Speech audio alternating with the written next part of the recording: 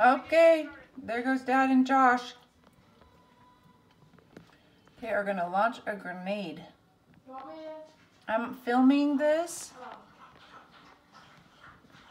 Here, Coco drinking water. There he goes. It's an airsoft grenade.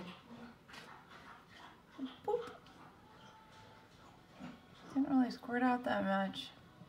Oh well, he's happy.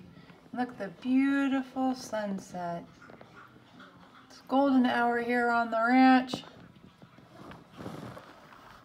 Those guys are enjoying being together.